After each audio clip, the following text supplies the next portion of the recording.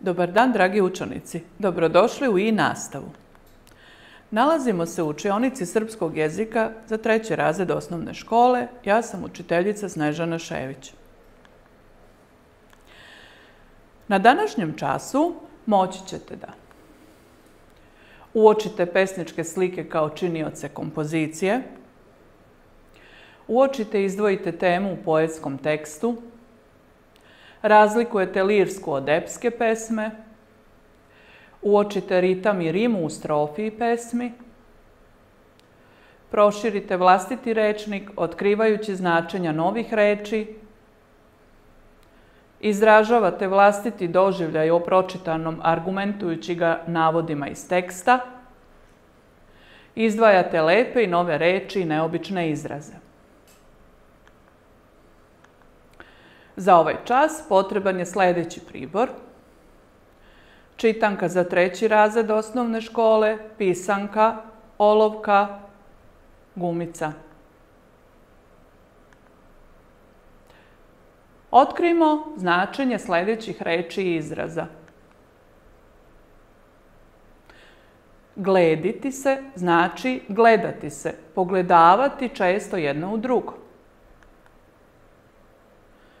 Nečuven znači čudan, neviđen, nezapamćen. Nadrasti znači rastom, odnosno visinom, preteći ili nadmašiti nekoga ili nešto. Dati sve od sebe znači učiniti sve što se može, uložiti krajnji napor da se nešto ostvari. Blagorodan znači da je dobar, plemenit, human, pitom, prijatan. Sada nacrtajte na jednom listu papira veliko srce. I u to srce zapišite sve što vam prvo padne na pamet kada se kaže reč ljubav.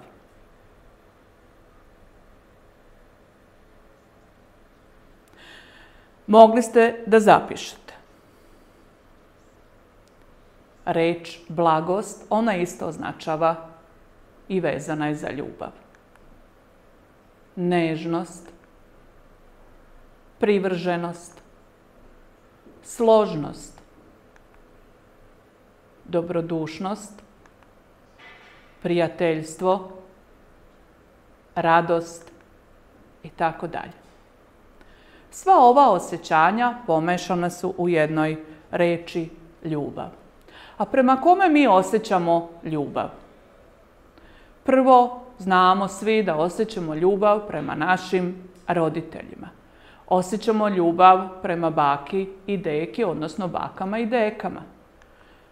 Osjećamo ljubav prema bratu ili sestri, ili bratu i sestri. Neko ima i brata i sestru ili više njih.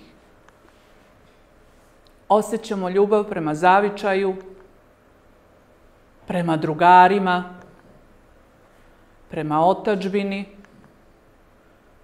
prema prirodi, prema školi. Neko osjeća, ali neko baš i ne osjeća. Prema nauci, prema sportu, prema umetnosti, prema životu. Znači još mnogo različitih ljubavi postoje, ali drugačije su osjećanja. Zašto smo spominjali ljubav? Danas ćemo pročitati ljubavnu pesmu našeg čuvenog pesnika Milovana Danojlića, a on je u toj svojoj ljubavnoj pesmi opisao jednu malo čudnu ljubav. Pa da poslušamo. Bio jednom jedan maslačak i bio na nebu beli oblačak. Oblačak gore, maslačak dole, gledeći se počeše da se vole. Dođoše vrućine nečuvene i maslačak poče da vene.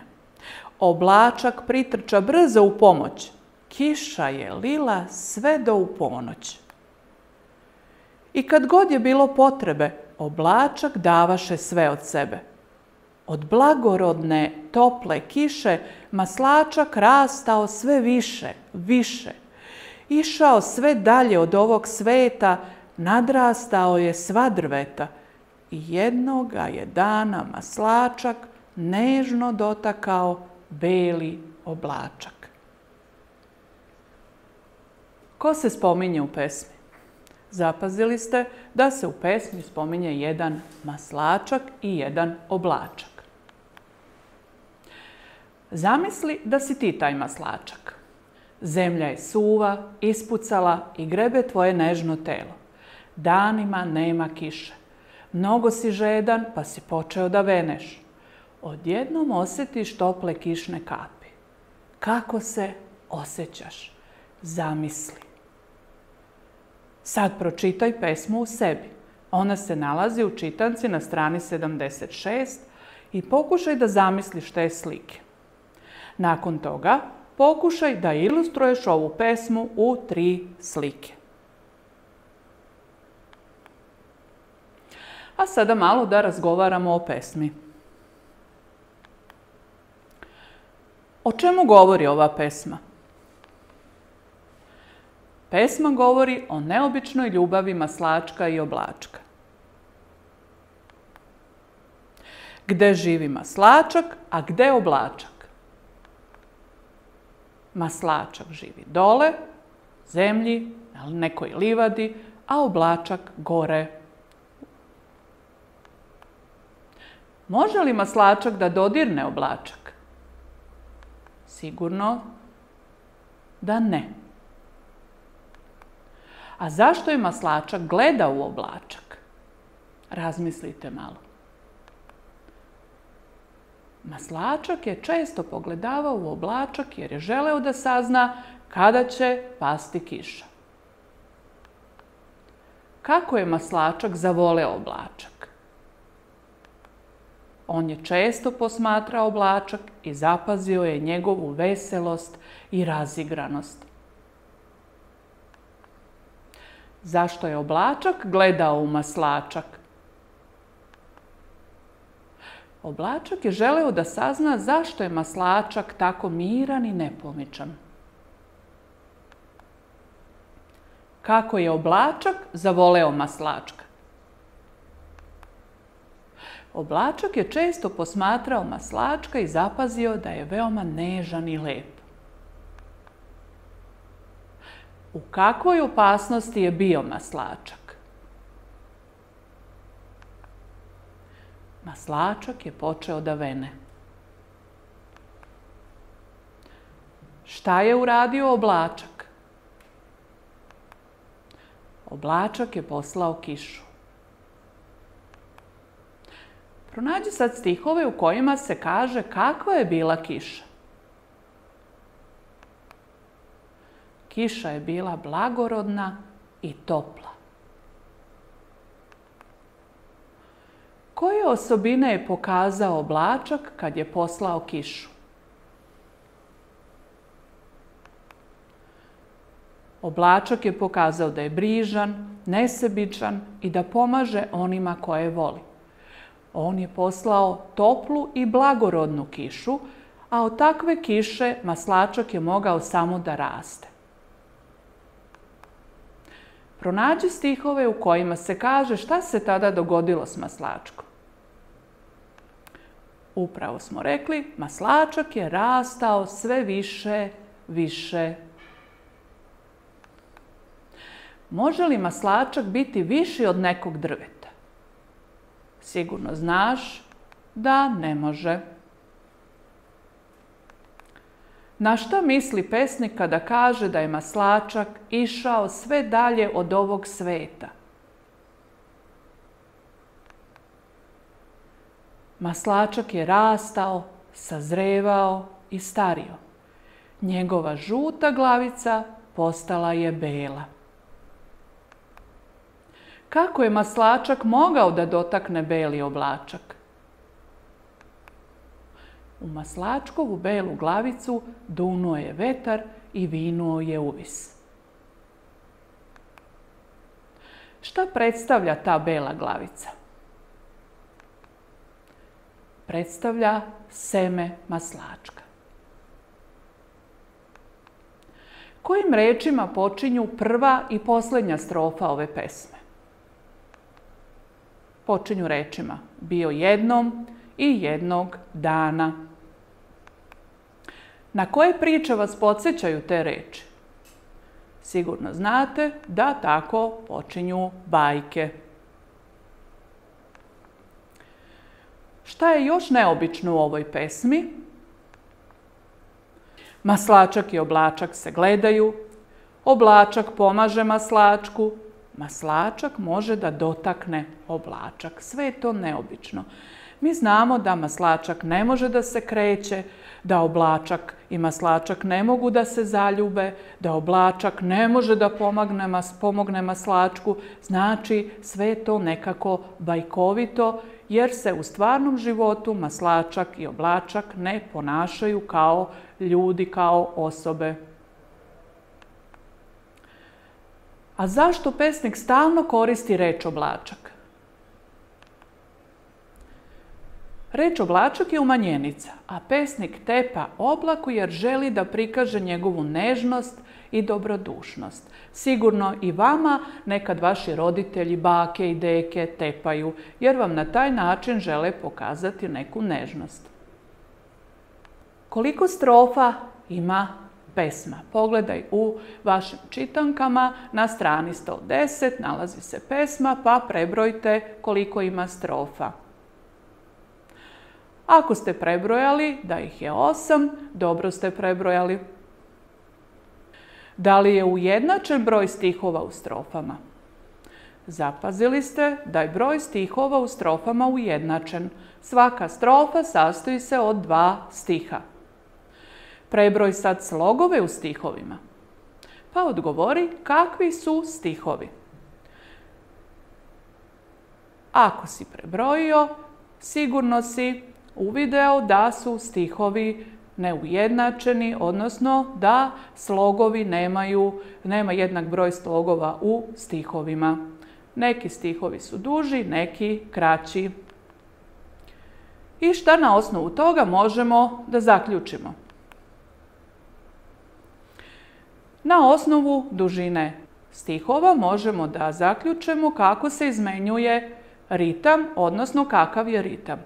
Mi ovdje vidimo da se izmenjuju brži i sporiji ritam, a raspoloženje u pesmi na osnovu toga je uglavnom vedro i nežno. Posmatraj sljedeće primjere. Maslačak, oblačak.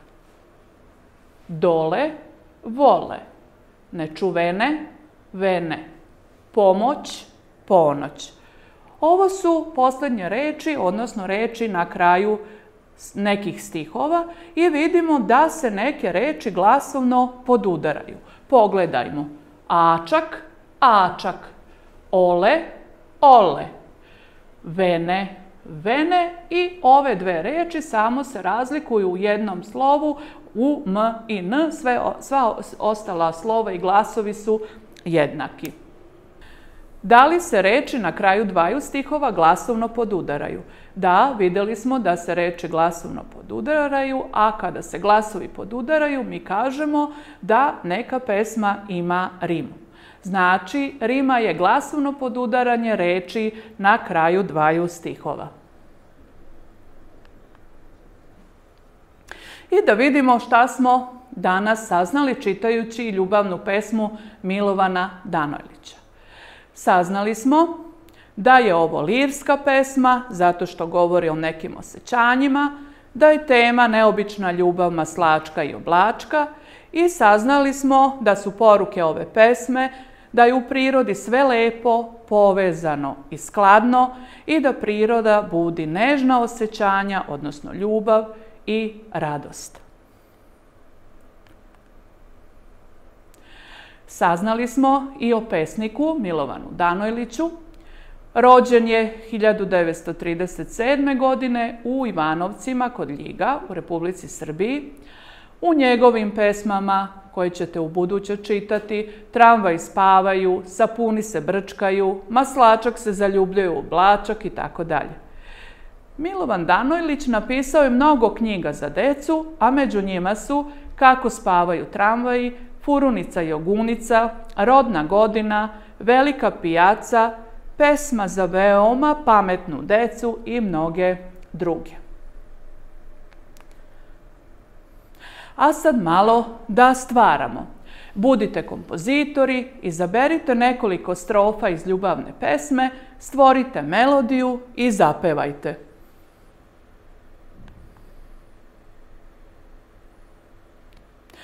A to može da zvuči i da izgleda ovako. Pogledajte.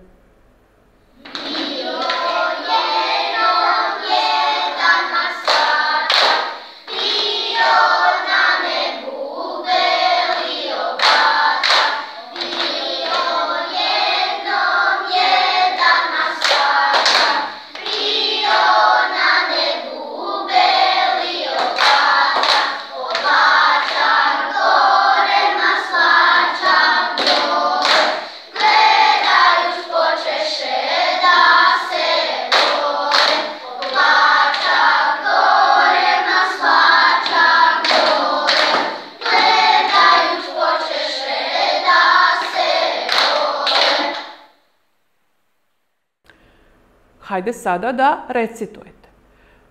Kako treba recitovati, pogledajte na sljedećem linku.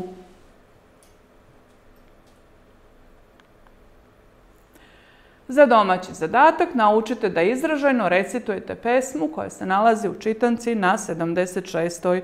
strani. Nadam se da vam je današnji čas bio zanimljiv. Do sljedećeg susreta srdačno vas pozdravljam.